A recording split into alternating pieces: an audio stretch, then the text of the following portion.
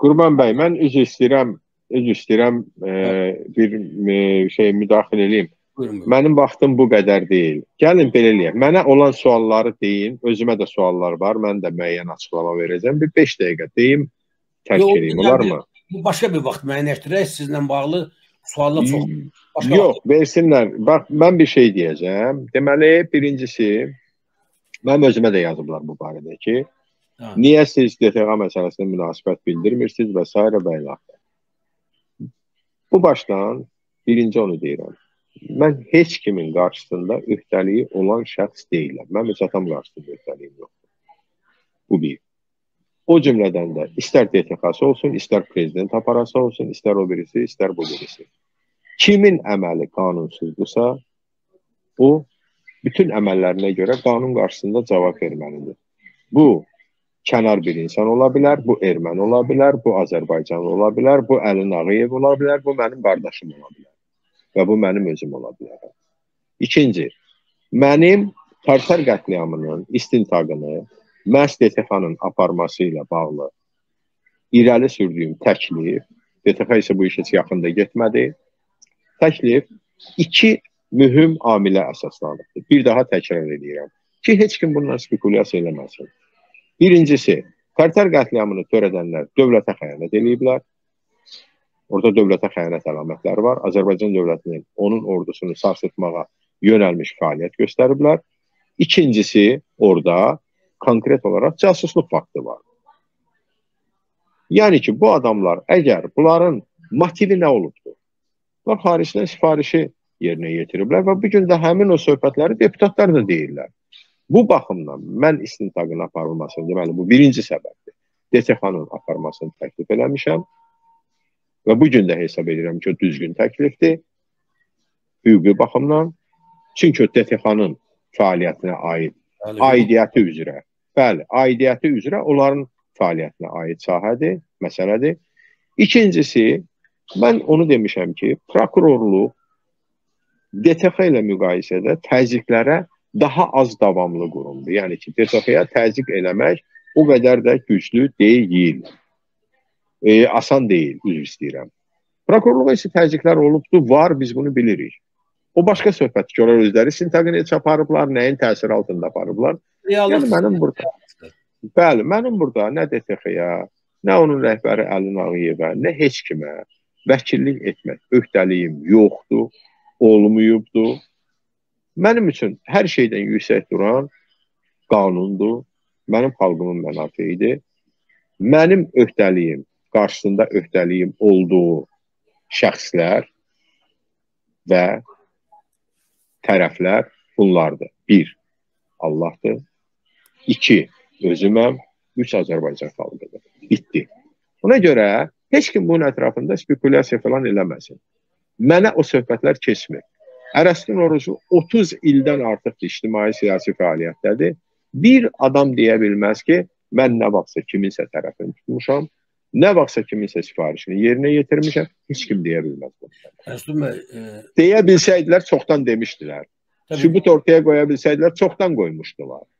mən istərdim ki, Məsudun bəy siz buradan elə keçmiş oranın bir əməkdaşı kimi indi hamı tanıyır. Ən azı dövlət təhlükəsizlik xidməti orqanlarının belə bir işə bulaşması e, hansı nəticələr verə bilər o orqan üçün? O barədə bir mesajlarınızı verəsiniz, ayrılıq sizdən. Qurban bəy, mən mövqeyimi, mövqeyimi dəfələrlə bildirmişəm belə məsələlərlə bağlı. O cümlədən də Dövlət Təhlükəsizlik Xidmətinin korrupsiya qarşı mübarizə aparmasını absurd saymışam. Dövlət Təhlükəsizlik Xidmətinin öz fəaliyyət sahəsi var. Bu onun barəsində əsasnamədə göstərilibdir. O hansı fəaliyyətlərlə məşğul olmalıdır. Korrupsiya ilə mübarizə yalnız o halda ola bilər ki, orada hansısa bir konkret əməliyyatdan söhbət gedir. Dövlətin milli təhlükəsizliyinə təhdid yaradan əməldən. Yoxsa necə olur? Dövlət Təhlükəsizlik Xidməti k- korrupsioner tutur, icra başçısı olduğuna çıxır. Polis İran agenti tutur. Polis hara, İran agenti hara, Dövlət Təhlükəsizlik Xidməti hara, korrupsioner icra başçısı hara. Dövlət Təhlükəsizlik Xidməti bir terrorizmə qarşı mübarizəni həyata keçirməlidir. Əks kəşfiyyat fəaliyyətini həyata keçirməlidir və 3 dövlətə xəyanət, dövlətə qarşı təhdid yaradan əməllərə qarşı mübarizə aparmalıdır. Bu onun fəaliyyət sahəsidir. Bunu mən müəyyənləşdirməmişəm. Qurban Məmmədli müəyyənləşdirməyib, heç Əli Namiyev də müəyyənləşdirməyib. Ona görə bir daha deyirəm ki, mənə belə şeylər yapışmaz. Yapışa da bilməz. Heç kim bu barədə belə şübhəli də qalmasın. Ürəyinizi buz kimi saxlayın. Hərəsin oruclu kimə lazımdır sözünü deyən adam. Dövlət təhlükəsizlik xidməti bu işə cəlb olunsa bu biabırçılıqdır. Sadəcə olaraq biabırçılıqdır. Əsas bu Azərbaycan vətəndaşına qarşı mən bayaq elə belə müqayisə aparmadım Stalin Andropov dövründən. Mən ona görə də birinci elə burdan Dövlət Təhlükəsizlik Xidmətinə müraciət edirəm. Sübut eləyin. Mən bir həkim kimi baxıram burdan, efirdən və mən xanım bacının çıxışlarında heç bir psixi pozuntu əlaməti görmürəm. Hər halda psixiatriyanı mən DTX əməkdaşlarından daha yaxşı bilirəm. Ən azı mən bunu bir fənn olaraq öyrənmişəm. O pasientlərlə təmasda olmuşam. Sübut eləyin, araşdırın ki, bu nə dərəcədə, əgər sizin buna aidiyyətiniz yoxdursa, Dövlət Təhlükəsizlik Xidmətinin, araşdırın, ortaya bir dəlil qoyun, əsas qoyun ki, doğrudan ruhi xəstədir. Mən bunu görmürəm. Amma bunu belə saxlamaq olmaz.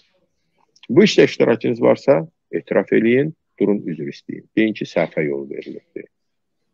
Deməyəcəksiniz təbii. Elə bir şey olubsa deməyəcəksiniz. Bu məlum məsələdir. Bəyəm tərtər terrorunu törədənlər boynuna alır ki, bu günəcən.